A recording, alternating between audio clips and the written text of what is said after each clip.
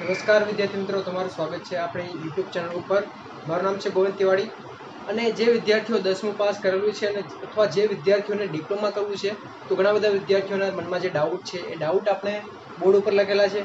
તમને પણ કંઈ પણ ડાઉટ હોય તો આપણે નીચે આ વિડીયોની નીચે કોમેન્ટમાં જણાવો. એના ઉપર આપણે વીડિયો બનાવશું. તો ચાલો આપણે સ્ટાર્ટ કરીએ.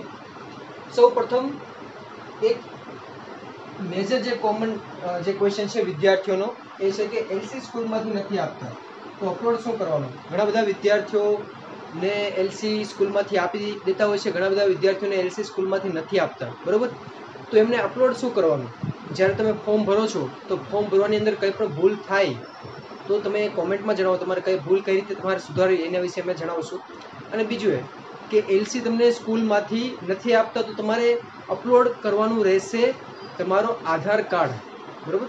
તમારું જે આધાર કાર્ડ હશે આધાર કાર્ડ નહીં, પરંતુ આધાર કાર્ડની અંદર પણ તમારી જન્મ તારીખ હશે. પરંતુ તમે, તમારી પાસે જન્મ તારીખનો દાખલો હશે, એ તમારે અપલોડ કરવાનો રહેશે. આધાર કાર્ડ તો ડિગ્રીના વિદ્યાર્થીઓ માટે છે, પરંતુ તમારે અહીંયા યાદ રાખજો કે તમારે જન્મનો દાખલો એ તમારે અપલોડ કરવાનો રહેશે.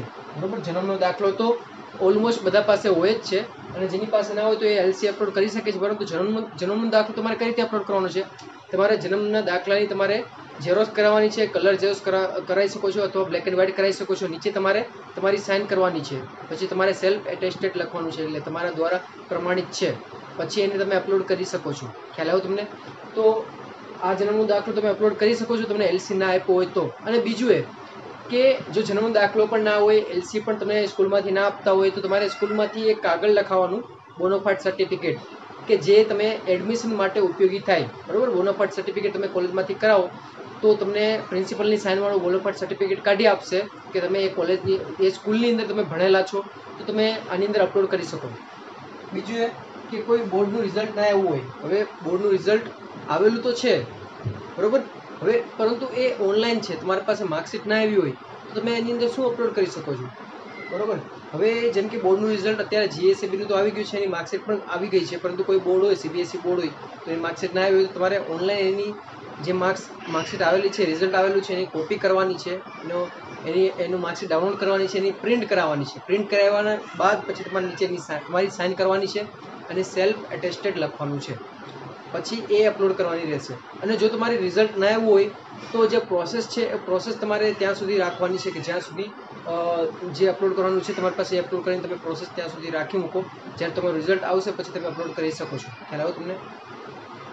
પછી છે, બાર નાપાસ હોય અથવા બારમું પાસ કરીને ટાઈમ થઈ ગયો તો ડિપ્લોમા થાય. ઘણા બધા વિદ્યાર્થીઓ એવા હશે કે જેમણે દસમું પાસ કર્યાને ઘણો ટાઈમ થઈ ગયો હશે. જેમ કે પાંચ વર્ષ છે, દસ વર્ષ છે. અથવા ઘણા બધા વિદ્યાર્થીઓ એવા હશે જેમણે બારમું નપાસ થઈ ગયા હોય અને હવે ડિપ્લોમા કરવું હોય, તો કઈ રીતે થાય? ઘણા બધા વિદ્યાર્થીઓને એવો સવાલ પણ હોય કે અમે બારમું નપાસ કર્યું છે, અમારે ડિપ્લોમા કરવું છે, તો શું અમારે એ પર્સન્ટેજ છે એ મારા ઓછા ગણાય?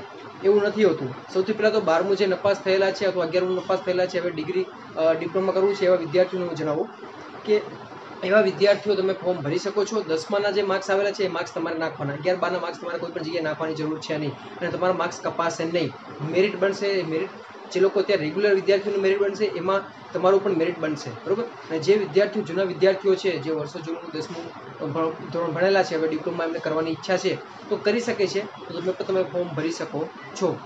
એ મિત્રો, આ વીડિયો હતો. અને બીજું એ વિદ્યાર્થીઓનો વીડિયો ક્વેશ્ચન છે કે જે વિદ્યાર્થીઓ એક વિષય અથવા બે વિષયમાં નપાસ થયા છે રિપીટરના વિદ્યાર્થીઓ, એ વિદ્યાર્થીઓના ફોર્મ ક્યારે ભરાશે? જે વિદ્યાર્થીઓ એક વિષયમાં કે બે વિષયમાં નપાસ થયા છે, તો એની જ્યારે પરીક્ષા લેવાશે, અને પરીક્ષાની અંદર પાસ થશે, પછી જ્યારે પ્રોસેસ એના, જ્યારે ડિપ્લોમાના ફોર્મ અગર ચાલુ રહેશે, તો તમે એના ફોર્મ ભરી શકો છો. જો ફોર્મ ચાલુ નહીં રહી, તો તમારે ડાયરેક્ટ પ્રાઇવેટ કોલેજમાં તમારે જવાનું છે. અને ત્યાં તમારે એમ કહેવાનું છે કે મારે તમારી કોલેજમાં નંબર એડમિશન લેવું છે, તો એ ફોર્મ તમને ભરી આપશે, તમારા ડોક્યુમેન્ટ લેશે, બધી પ્રોસેસ કરશે, અને એ ફોર્મ છે એ જ્યારે પ્રોસેસ જેવી ચાલશે, તો તમારા ડોક્યુમેન્ટ છે ગાંધીનગર મોકલાઈને એનું એડમિશન તમારું એડમિશન છે એની કોલેજમાં લઈ લેશે, બરાબર? તો આ પ્રોસેસ રહેશે. કેમ કે જ્યારે રિપીટરના વિદ્યાર્થીઓ માટે પાછા ફોર્મ આવતા નથી ઘણીવાર, તો જ્યારે ફોર્મ આવશે તો તમારા માટે સારું છે. પરંતુ તમે એમ કહેશો કે અમારે ગવર્મેન્ટ કોલેજમાં મારે ભણવું છે રિપીટરના વિદ્યાર્થીઓ જો એમ કહેશો તો એ ચાન્સ તમે તમે ચૂકી જશો. કેમ કે તમે રિપીટરની વિદ્યાર્થીઓ છો અને તમે જ્યારે તમે પાસ આઉટ થશો પાછા એક બે વિષયની પરીક્ષા આપો, જ્યારે રિઝલ્ટ આવશે, તો તમે પ્રાઇવેટ કોલેજમાં તમે ભણી શકો છો. તમે ગવર્મેન્ટ કોલેજમાં તમને એડમિશન મળશે નહીં. તો વિદ્યાર્થી મિત્રો, તમારે કંઈ પણ ડાઉટ હોય તો નીચે કોમેન્ટ સેક્શનમાં જણાવો. આપણી વોટ્સઅપ ગ્રુપની નીચે લિંક આપેલી છે વોટ્સઅપ ગ્રુપમાં જોઈન થઈ જાઓ. એની અંદર અપલોડેડ જે અપડેટેડ જે વીડિયો છે, આપણે વીડિયો બનાવીએ છે એની લિંક આવે છે. એની અંદર ઇમ્પોર્ટન્ટ વેબસાઇટની લિંક આવે છે. ઇમ્પોર્ટન્ટ માહિતી આપણે શેર કરીએ છીએ, તો નીચે વોટ્સઅપ ગ્રુપની લિંક છે ઇન્સ્ટાગ્રામની લિંક છે ટેલિગ્રામની લિંક છે. તમે જોઈન થઈ જાઓ. વોટ્સઅપ ગ્રુપમાં તો લિંક જોઈન થઈ જ જજો. તમારે ઇમ્પોર્ટન્ટ માહિતી તમને મળશે. અને ટોપ ટેન ડિપ્લોમા કોલેજીસ કઈ છે? ડિપ્લોમાની અંદર એડમિશન કઈ રીતે થાય છે? એના રિગાર્ડિંગ આપણે વીડિયો બનાવેલા છે અને લિંક નીચે આપેલી છે. તમે જોઈ શકો છો. હવે આપણે મળશું નેક્સ્ટ વિડીયોની અંદર. જય હિન્દ, જય ભારત.